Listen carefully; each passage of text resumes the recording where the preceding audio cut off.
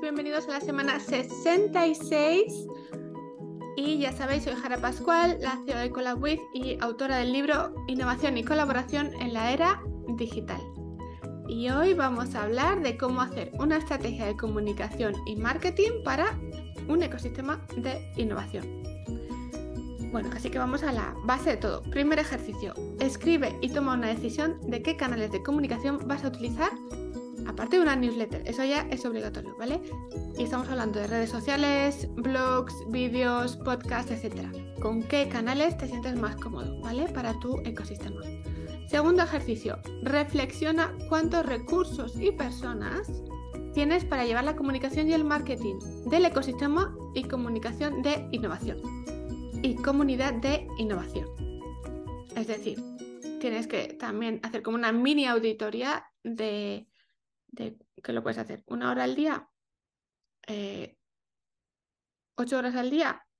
¿Cuántas personas son? Una, veinte. Esto hace bastante diferencia para ver lo que puedes llegar a hacer de niveles de marketing y comunicación. Tercer ejercicio. Reflexiona y escribe la frecuencia a la que puedes comunicar por el canal de comunicación que has seleccionado basados en los recursos que tienes y los temas que quieres comunicar basados en la definición de tu comunidad. ¿Os acordáis del primer ejercicio de hace tres semanas que hicimos de cómo vas a poner la base de tu comunidad? ¿no? ¿Cuáles son los objetivos, los valores, ¿no? cómo vas a hacer todo el onboarding de los usuarios? Pues ahí esa parte te va a ayudar un montón para comunicar toda la definición de la comunidad para ver lo que quieres comunicar y qué frecuencia lo quieres comunicar.